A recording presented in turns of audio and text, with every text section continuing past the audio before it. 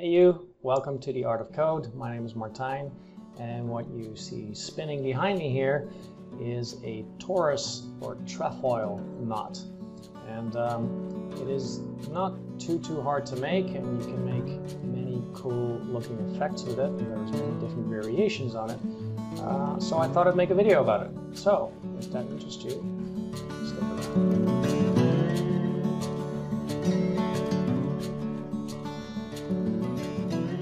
Before we get started coding this thing, I thought it'd be good to go through some theory again on how to get the distance to a torus. I did this in another video, uh, but for sake of completeness, let's just do it again.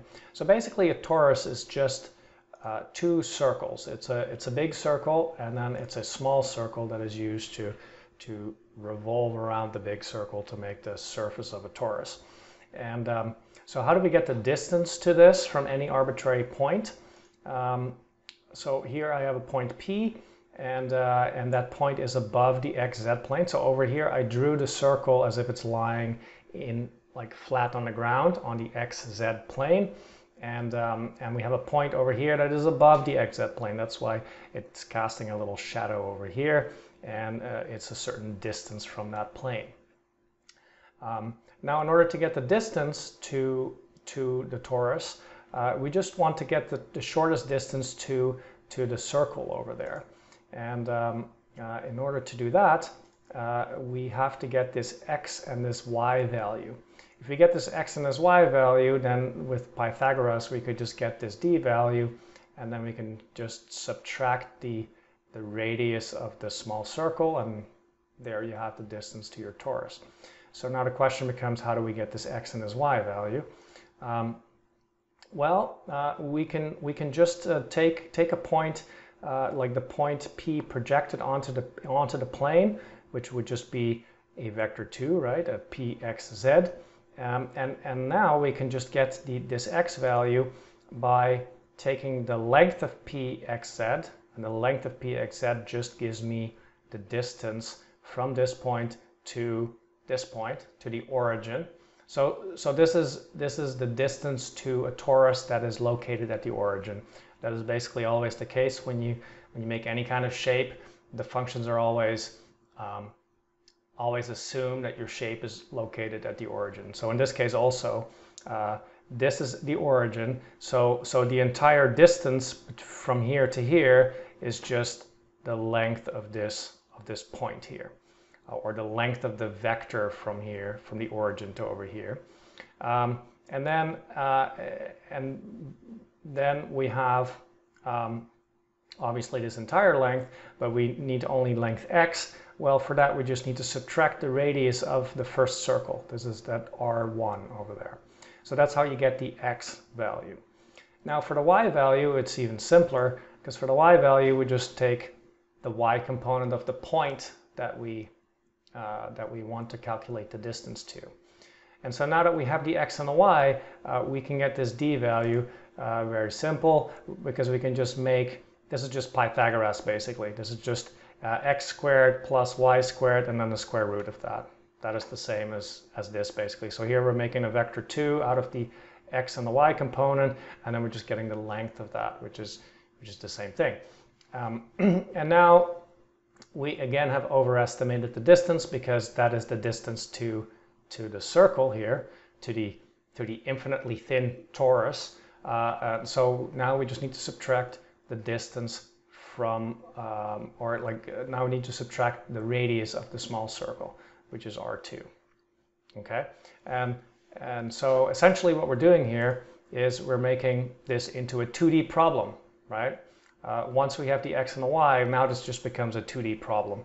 Uh, and now uh, we just get the distance from a 2D point to a 2D circle, uh, which is exactly this.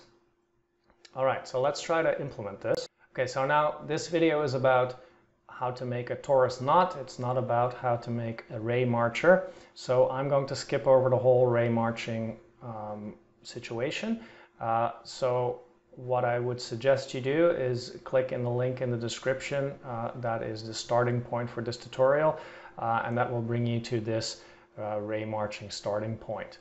Um, so anything in this video is, is uh, is described in great detail on other videos. If you want to know how to make a ray marcher, I, I highly um, encourage you to watch the video Ray Marching for Dummies, uh, for which I have a link in the description below. Uh, but if you already know how to write a ray marcher, or if you just want to follow along from, uh, from the starting point, uh, then you can just click on the, on the starting link and, and, uh, and let's get going with that. All right, so here we have a ray marcher with just a simple cube that I can spin around. And uh, let me just collapse some, some functions that we're not gonna uh, worry about today. Um, and really the meat and potatoes of this is inside of the get dist function, right? So here we have uh, the distance to a box. So let's make that the distance to a torus. All right, so uh, what we just did was, uh, well, first we get the, the distance to the, to the flat circle on the ground. So that's the length of xz minus some radius, right, r1. And uh, let's just also make that r1 equals uh, 1, let's say. Um, and then uh, we have to get um, though we have to make this into a vector 2. So this was just our x component of the vector 2. Our y component of the vector 2 would be p dot y. And so let's bake this into a vector 2. So we do it like that. Uh, and now we need to get the length of that, the length of that, minus some, the, minus the small radius, which would be r2, right? So, and for r2, we can say r2 equals, let's say, 0.2, all right? And there is your torus. Awesome. So simple enough. Uh, let me just uh, zoom in a little bit, or actually just make the torus larger. Um, yeah, I guess I guess we could we could do this. Um, all right, so um, so now we have so so so this here is the this here is the distance to the big circle, and then here this is the this is kind of the 2D distance to to uh, to uh, well the distance to a 2D circle basically. Um, but what we can do here is we can we can we can revolve any kind of shape around the circle. So right now we're revolving a circle around a circle, right?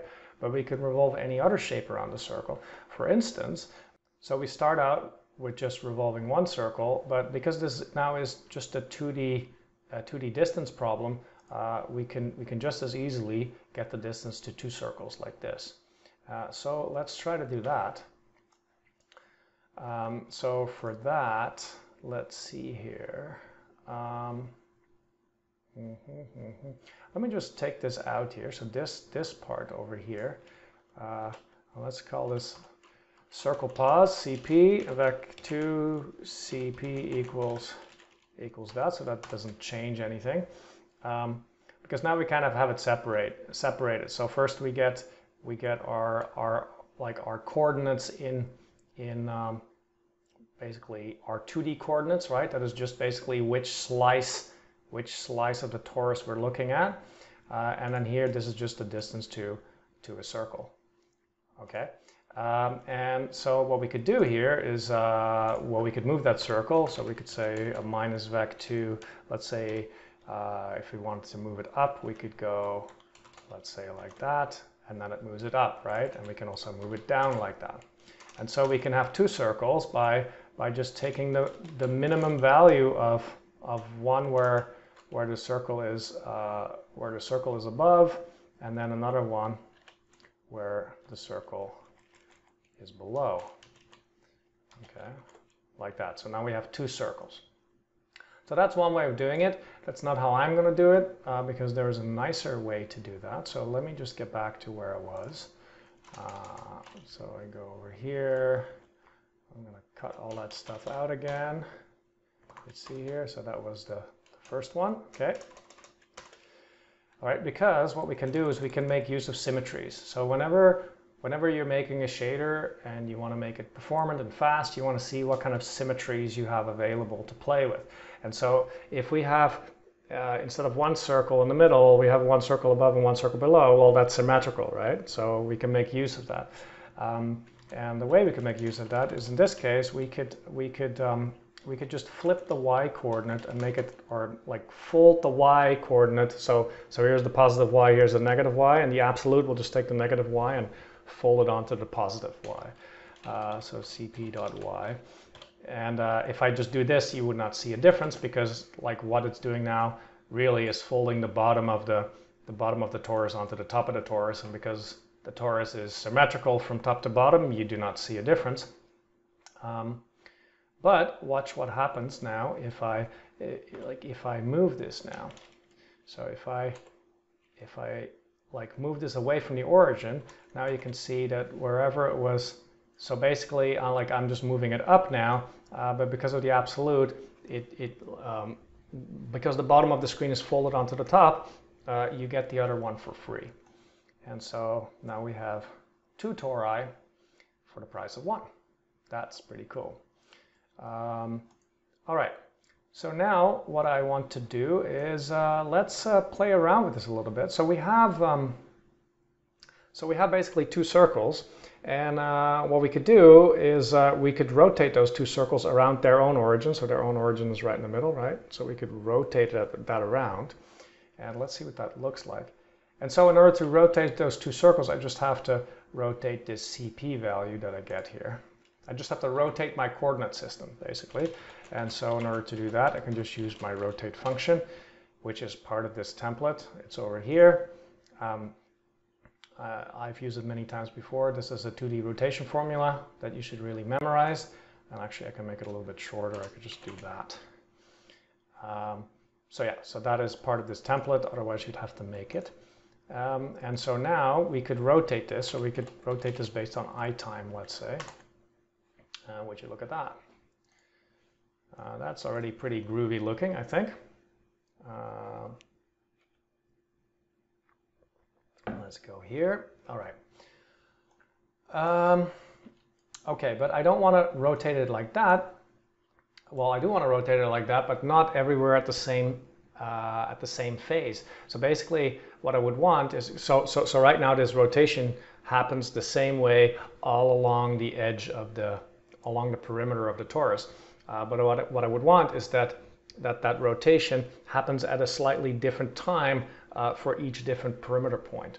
And if you want to do something that is different along a perimeter of something, uh, then instantly you should think about polar coordinates because uh, that's how you can how you can do that. And uh, polar coordinates are pretty are pretty simple to deal with. So what you can what we can do here is we can get an angle. And so to get the angle around the center point here, which is kind of like the hands of a clock, uh, you can just use an atan function for that. And then we just throw p, p dot x and p dot z into it. And that gives me the polar angle between minus pi and pi.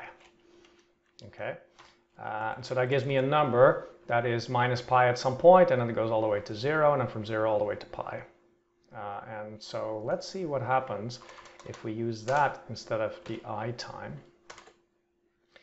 And now like a magic trick where you just pull two rings out of one, now you have two rings that are interlocking here.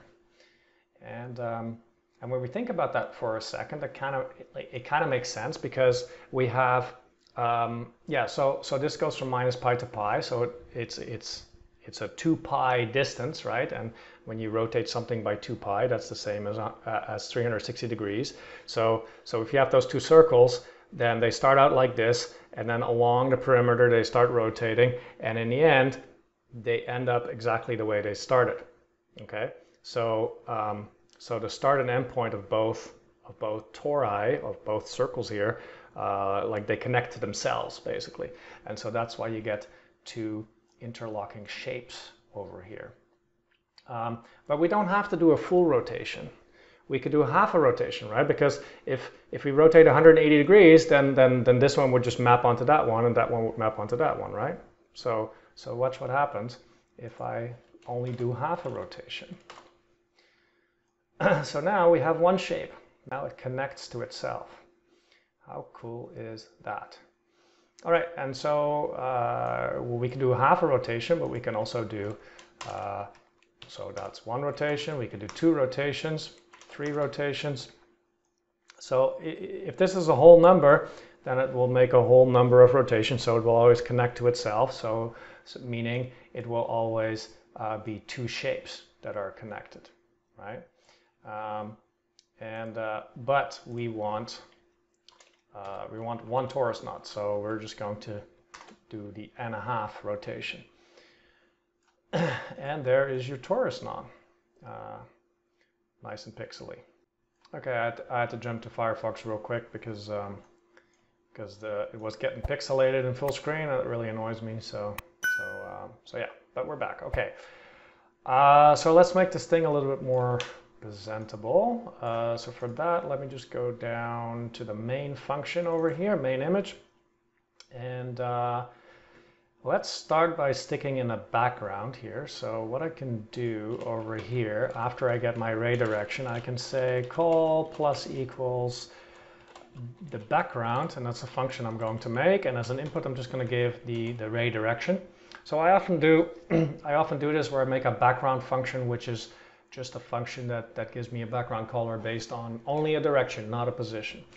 And so, yeah, because it like a background, you know, would be very far away, so the position wouldn't really matter that much. Uh, so that's why I do that. Uh, so let's make this function. So vec3bg takes as an input a ray direction, and as an output is going to give me a color, right? So we're going to do vec3 call equals um, well, equals something, and then I'm going to return that call. Um, and then what does it equal? Um, well, I'm going to do something where it's a different color all the way at the top versus all the way at the bottom. And uh, for that, I can just take my, I can just take the y component of the of the ray direction, uh, because the y component is going to be plus one all the way at the top, and it's going to be minus one all the way at the bottom. Um, so let me just remap that and call that value k. So I'm going to say rd.y times 0.5 plus 0.5. That's just to get it into the 0, 1 range. And now I can use a mix over here to mix two different colors, namely a color that I wanted all the way at the bottom versus a color that I wanted all the way at the top. And then I just use that value k to blend between those two. And so all the way at the bottom, let's say I want some dark reddish color. So let's say something like that. And at the top, I want some lightish blue color. Let's say something like this maybe. Let's see what that looks like. Okay, so that gives me something that is blue at the top and reddish at the bottom. Um, so I think that's good enough for now. And so now this, uh, the the, the knot itself kind of blows out a little bit. And uh, that is because over here we're just adding it.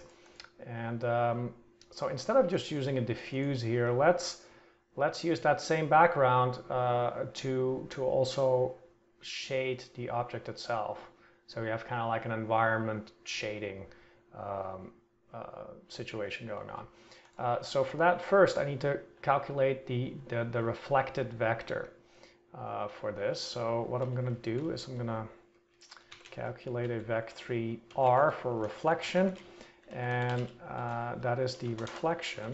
There's just a function for that that reflects that reflects uh, a vector around another vector. So the vector we want to reflect is the I vector, right? It's the vector that goes from the camera through the pixel uh, into the scene. And in this case, that's called RD and then when it hits the surface, it, we need to know how the surface is oriented, and then we figure out how it's reflecting, right? And so it's, it's oriented in the way or in the direction of the normal. So we just add the normal, and that's how we get the reflection. And now we can just go over here, and instead of div, we can say bg uh, of that reflected vector.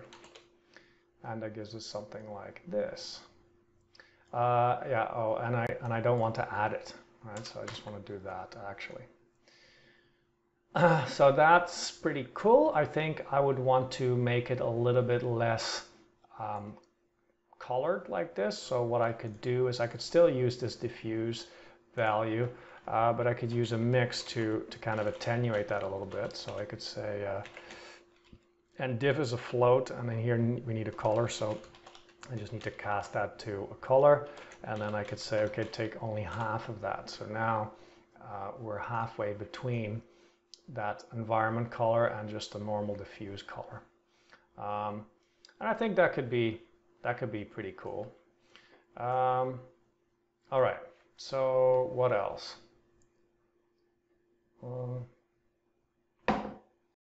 yeah, I suppose we could add a really cheap looking, uh, or not looking, but a really cheap uh, specular effect by like assuming that there are some specular like reflection immediately above the above the shape.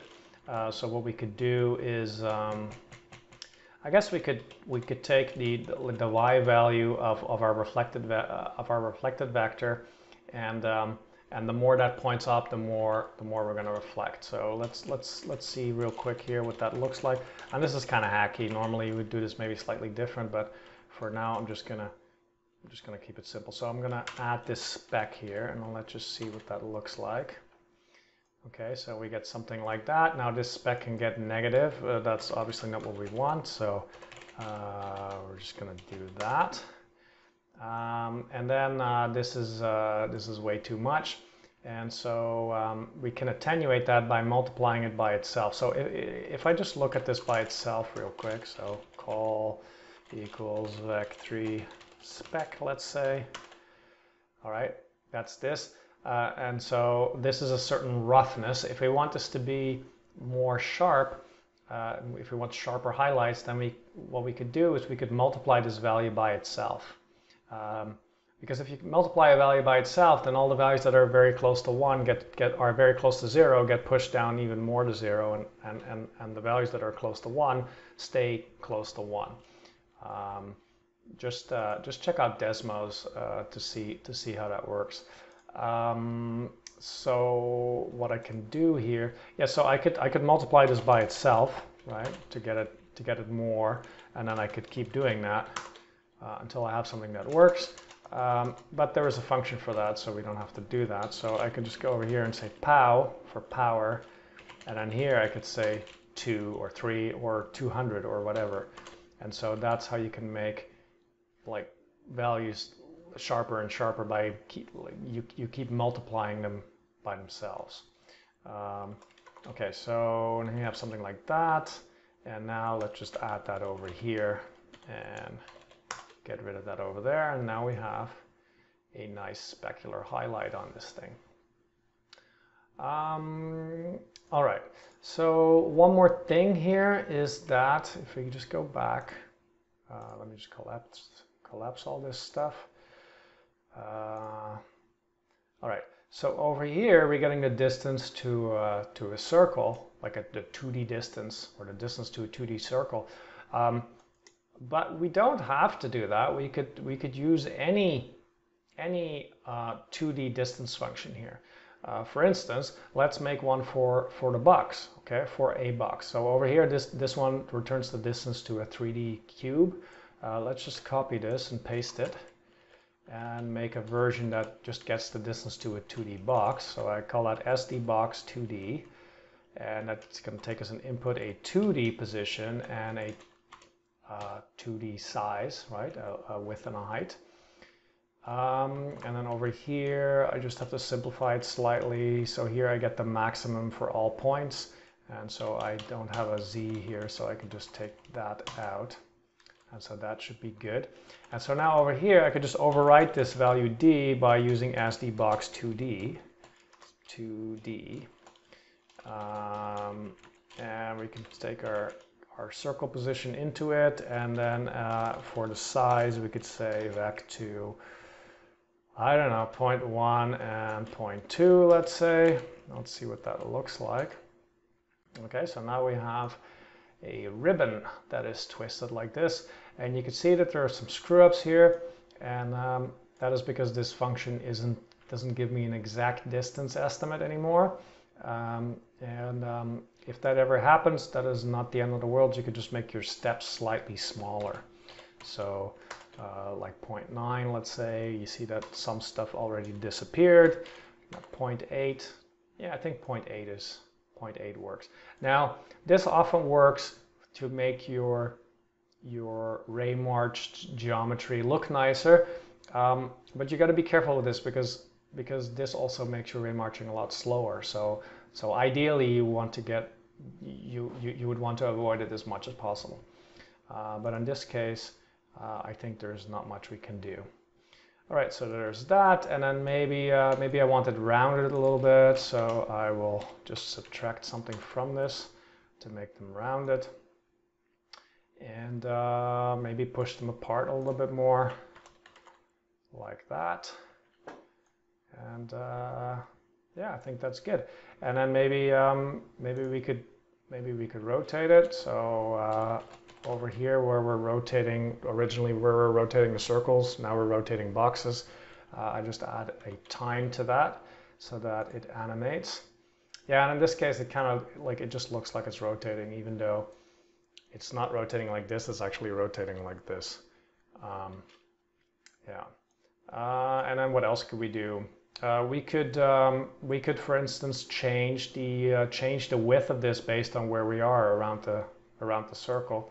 Just make that a bit smaller uh, because this makes this makes it thinner, right? Thinner and thicker. Um, so what we could do here is, uh, let's say, we could multiply it by something, by the sine of uh, the the polar angle uh, and that is between minus 1 and 1, so we have to just remap that to, to the 0, 1 range. And so now I forgot a, yeah, okay. Uh, so now it will, it will be thick on one side, and uh, it should really be zero thickness on the other side. I'm not entirely sure. Let me just take this out here for a second because it's confusing. Uh, let's see here, multiply this to have it two times. Yeah, I'm not entirely sure why that doesn't go. Oh yeah, okay, so that doesn't go all the way to zero because we still have this here. Okay, um, so yeah, let me just make it a bit more pronounced, and we could have that happen, let's say, four times. Um, and then we have some crazy shape like that. Uh, let me just put this back. I time times 0.5, let's say. Yeah, see, now we have a little bit of rotation in there that looks a little bit nicer. All right, I'm gonna I'm gonna leave it here for this one. Um, I'll probably do a future video, uh, part two about this because there's more to say about trefoil knots. But um, but yeah, as you can see, this is not that hard to make, and you can make really cool things with it. So so right now we, we started with two circles, uh, but there's no, there's no reason why you could like you could have arbitrary many shapes that you that you twist um, so, so one video that I'll probably make in the future is where we take three and we braid them. And so instead of rotating them, you like you have three and you, you kind of braid them. Um, I think that could be cool. Um, and then there's figuring out texture coordinates, so you can stick a texture on this, and um, and then you know you could maybe have I don't know little animals walking on the surface or something like that. But that is for a future video. I'm gonna I'm gonna leave it here. So um, if you if you like this, please click the like button. Please leave a comment. Please subscribe. Uh, if you want these videos a week early, then please uh, check out my Patreon. All Patrons get videos a week early, and you can be a patron for as little as one dollar. And um, and so yeah, that would be that would be cool anyways, uh, I hope you liked it and I hope to see you next time.